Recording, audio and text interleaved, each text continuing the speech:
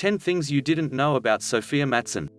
Not to be confused with the Swedish wrestler of the same name, actress Sofia Mattsson has been a fixture in the world of soap operas since joining the cast of General Hospital in 2018. While actors who primarily work in soap operas are sometimes not taken as seriously, Sofia has proven that her talent deserves to be acknowledged and respected.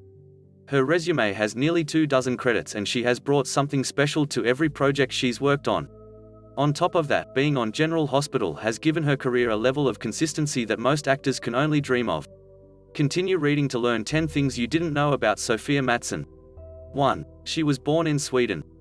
Throughout her years of being in the entertainment industry, Sofia has done such a good job of mastering an American accent that many people may not realize that she isn't from the United States. She was actually born and raised in Sweden and moved to the US when she was 19 years old. 2. She isn't the only actress in the family when the acting bug came to the Mattsson family, it didn't stop at just one person. Sofia has two sisters who work in the entertainment industry.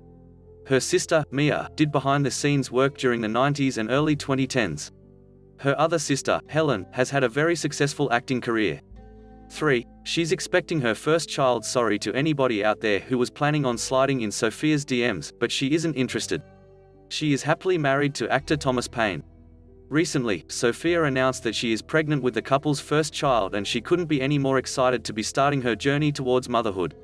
4. She likes to travel not only has Sofia lived in both Sweden and the United States, but her travels have taken her all over the world.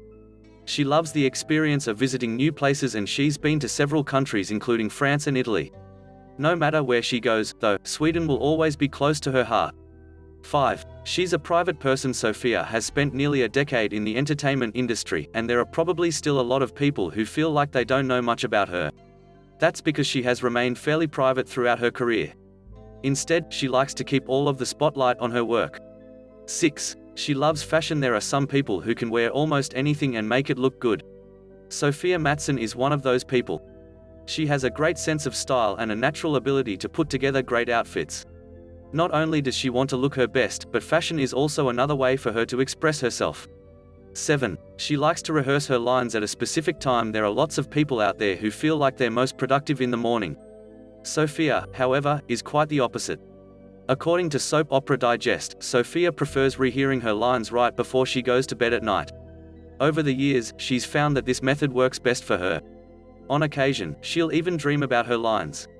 8. She does her best to spread positivity Sofia's journey as an actress hasn't always been easy, but no matter what obstacles she's come in contact with she has never been the type to let anything hold her down.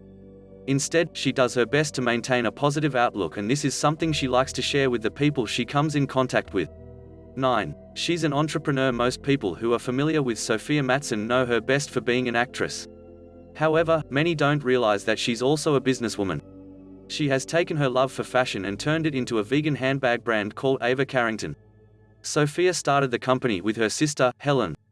According to the business website, the sisters launched Ava Carrington in 2019 after their search for well-designed, high-quality handbags that were also sustainable and cruelty-free revealed a void that they decided to fill themselves.